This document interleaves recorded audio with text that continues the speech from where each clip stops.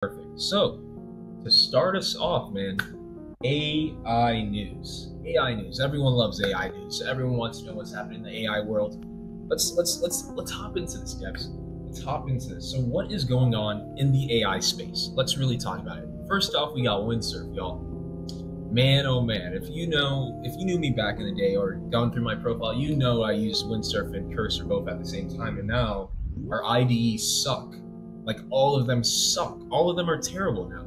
Cursor ruined their pricing, and now we're limited. Talking about limited, in fact, let me show y'all something. This was what Cursor did yesterday. Hang on. This is what Cursor did yesterday. By the 16th, if I use based off of my current usage, guess what? I'm not going to be able to use it anymore. And we all know auto sucks in Cursor. So that's option number one. Like, we're already taking L's as we begin developing. Right now, I'm really thinking of just charging $100 to my credit card and buying Claude Code. I don't even know anymore. But I, I, I truly don't know. I truly don't know. This is the options we're at right now.